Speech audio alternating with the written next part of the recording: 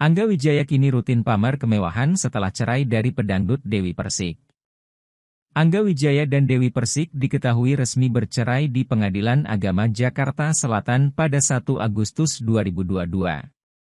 Lalu pada 23 Juni 2023, Angga menikahi Nurul Kamaria, seorang janda dua anak.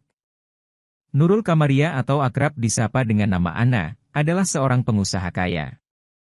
Sejak menikah dengan Ana, Angga kerap membagikan potret kemewahan.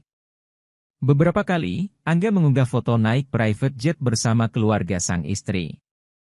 Belakangan, Angga juga kerap melancong bersama sang istri. Termasuk juga memakai barang-barang mewah.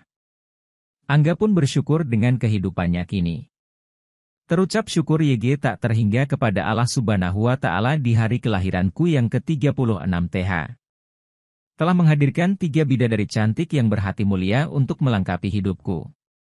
Dan ucapan terima kasih YG tak berujung untuk keluarga kecilku, istri tercinta cinta sweat 92 anak, ku tersayang, tulis Angga.